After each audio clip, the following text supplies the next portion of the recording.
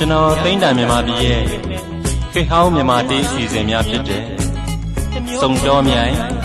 တောနှင့်တောင်ဆွဲပြီးတဲ့နောက်ပန်းမြိုင်လေစီရီများဟာတိချစ်သူများရဲ့အားပေးမှုကြောင့်အောင်မြင်ခဲ့ပါတယ်ခင်ဗျာအခုဒီကစုံတော်မြိုင်အမှတ်၄လို့ခေါ်တွင်နိုင်တဲ့ခိုင်ပန်းစုံစီရီကိုလည်းကျွန်တော်နဲ့အတူဒေသန်ရှင်နှွဲ့ရင်ဝင်းက ပါဝင်ပြီးဆိုထားပါတယ်ဒီ series တန်သွင်းစဉ်မှာဆရာစကိုင်းလှရွှေကကြီးကြပ်ညွှန်ပြပေးပါတယ်ဆရာလင်းကေးလူလီနဲ့ဆရာစီမောင်မြင့်တို့ကလည်းအကူအညီများစွာပေးခဲ့ပါတယ်ဒေဂီတအစီအစဉ်ကိုကျွန်တော်နဲ့ Ronnie ကောင်းတို့ကစီစဉ်ပြီးတော့ LPG ဝိုင်းတော်သားများနဲ့အတူ ဘုံမောင်အေးကလည်းကြိုးစားပါဝင်အားဖြည့်ပေးပါတယ်